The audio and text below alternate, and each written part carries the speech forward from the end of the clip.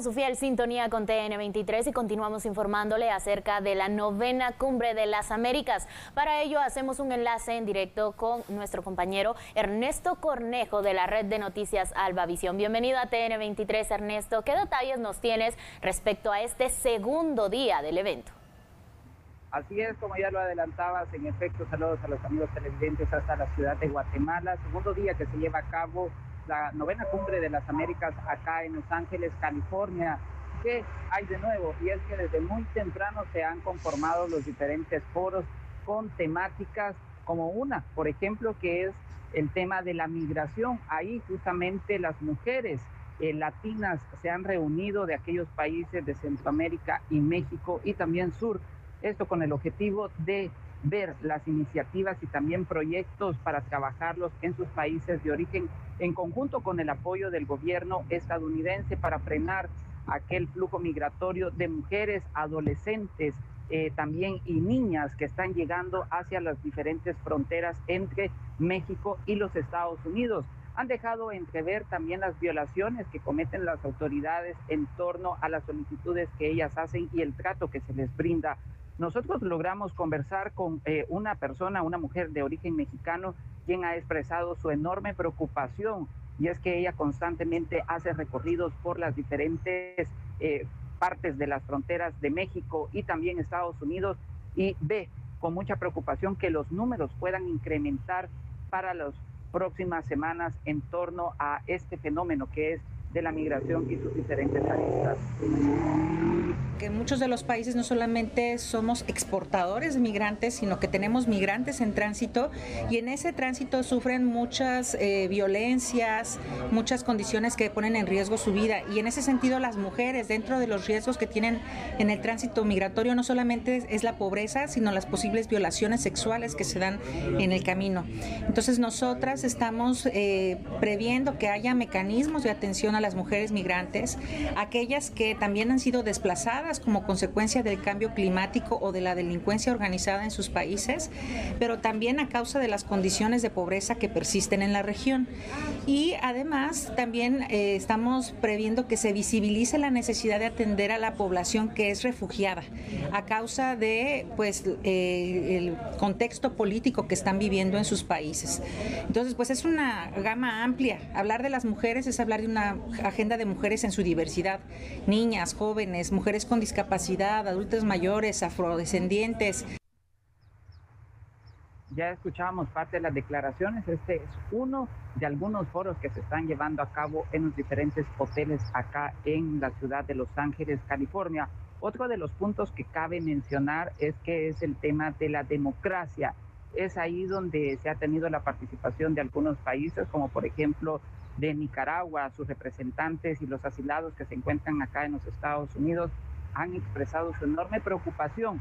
ante la situación que se ha venido dando en las últimas semanas y ante esto también en las últimas horas el secretario para Asuntos del Hemisferio Occidental del Departamento de los Estados Unidos, Brian Lincoln, advirtió que Estados Unidos llevará sanciones drásticas para los próximos días para el gobierno de Daniel Ortega y sus aliados esto a raíz de las denuncias que se han tenido en los últimos días. Cabe mencionar que la participación de los países centroamericanos es sumamente importante. En El Salvador, la representación de ellos, de los miembros de la sociedad civil, también han expresado que están viendo con grave preocupación las violaciones que tiene el gobierno actual del país centroamericano. Bueno, con esto lo que nos muestra el gobierno salvadoreño es el grado de importancia que le da a la discusión sobre la democracia. Y esto para nosotros pues es lamentable que el gobierno no muestre un compromiso real de venir y discutir estos temas con sociedad civil, por ejemplo, con la diáspora del estado de la democracia salvadoreña, porque al final lo que nosotros vemos es que el gobierno, en lugar de estar tomando eh, partida en favor de fortalecer la democracia, democracia está cada día más socavándola y eso es, eh, digo, lamentable y eso es una de las eh, cosas que se quieren plantear en el foro. Este socavamiento de la democracia eh, como un ejemplo más para la región de que no se debe permitir el avance de este tipo de populismos autoritarios que van en, en desmedro de los derechos fundamentales de la población y de una vida en democracia los cubanos y también venezolanos residentes acá en los Estados Unidos han tenido una participación bastante especial en los diferentes foros que se continúan llevando. Los jóvenes, por su parte, también de Latinoamérica, están a esta hora de la tarde reunidos con representantes también del gobierno quienes están expresando sus diferentes preocupaciones, como por ejemplo el impacto económico que ha causado la pandemia de COVID-19 en sus países de origen y lo que también está impulsando que muchos de ellos decidan viajar no solo a los Estados Unidos, sino que también a partes de Europa, esto arriesgándose a iniciar una nueva vida con muchas discriminaciones en su entorno, mencionan ellos, primero por de su idioma, segundo también por la explotación que se les puede dar a los jóvenes, pero muchas veces ellos vienen en el contexto político huyendo de lo que está sucediendo en sus países de origen. Cabe mencionar que en los próximos minutos también la vicepresidenta Kamala Harris va a entablar ya el encuentro con las mujeres latinas, donde se busca generar también una inversión económica bastante importante para cada uno de los países que van a estar siendo representados, las diásporas de cada uno de estas naciones.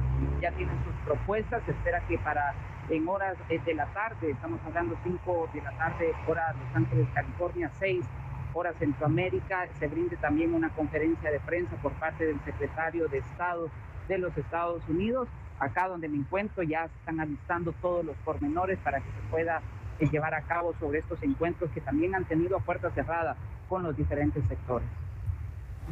Muchas gracias, Ernesto. Ahí teníamos detalles acerca de cómo se desarrolla esta novena cumbre de las Américas y detalles acerca de los temas que se han tocado, principalmente de la migración y también de la democracia. En instantes ya nos hablabas que la vicepresidenta Kamala Harris dará pues a conocer estos 1.900 eh, millones de dólares que se espera que puedan ser parte con lo que cuente Centroamérica para diversas necesidades que tienen eh, estos países que forman eh, Centroamérica. Pero tendrás más detalles acerca de cuánto será seccionado por país eh, respecto a la cantidad total que ella ha indicado que se donará para estos países será justamente eh, con esta reunión como se va a llevar a cabo la distribución y también ver las necesidades que tiene cada uno de ellos. Por ejemplo, en Centroamérica se tiene que generar mucha inversión en empleo, también en aquellos sectores que no han sido visualizados, como por ejemplo en el campo, que la gente necesita semilla para las siembras y que muchas veces también se ve perjudicado por las situaciones del cambio climático en, sus países de, origen, por ejemplo, eh, Honduras y Nicaragua son uno de los que también se han visto seriamente afectados en el año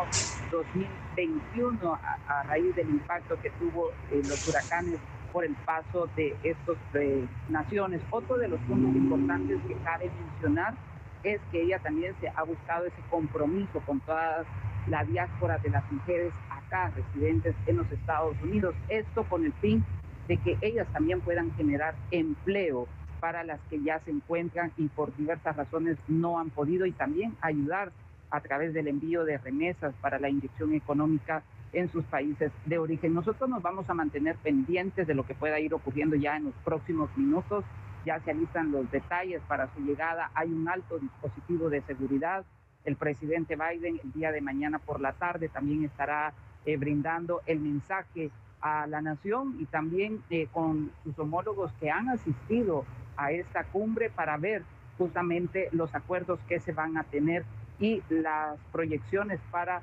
corto plazo. Cabe mencionar un punto importante, amigos televidentes y compañeros en los estudios, que el día de ayer la portadora de la Casa Blanca dejaba entrever a través de una conferencia de prensa que eh, a pesar de que el presidente de México eh, no ha asistido a esta cumbre, se espera que para el próximo mes llegue a Washington, donde se van a abordar temas como el de migración y también el impulso económico, eso con el fin de generar aún más los lazos de amistad. Mucho se había cuestionado que a pesar de su llegada a esta cumbre, que no iba a estar presente, sino más bien su delegación, se iban a tener eh, el estira y encoge como se ha visto en los países centroamericanos, pero ha dejado claro que no, porque su intención es seguir fomentando esa eh, unión con todo Latinoamérica para continuar eh, llevando programas de inversión.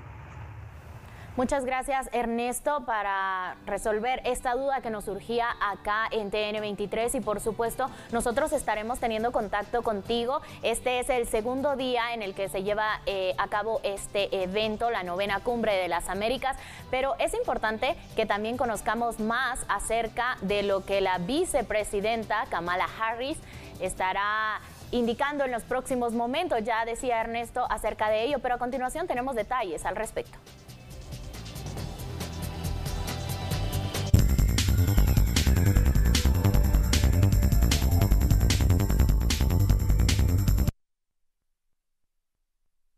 La vicepresidenta de Estados Unidos, Kamala Harris, anunció este martes en una reunión con los líderes del Caribe que se celebrará en el marco de la Cumbre de las Américas nuevos compromisos de inversión privada para crear oportunidades económicas en el norte de Centroamérica por valor de 1.900 millones de dólares. En una llamada con la prensa se indicó que la propuesta forma parte del plan de Harris para atajar las causas económicas y sociales de la migración a Estados Unidos. Las nuevas inversiones son parte del plan llamado a la acción y se suman al anuncio que hizo la vicepresidenta en diciembre de 2021 de 1.200 millones de dólares en compromisos. La administración Biden-Harris, según el funcionario, reconoce que el desarrollo a largo plazo en el norte de Centroamérica requiere más que solo los recursos del gobierno de los Estados Unidos.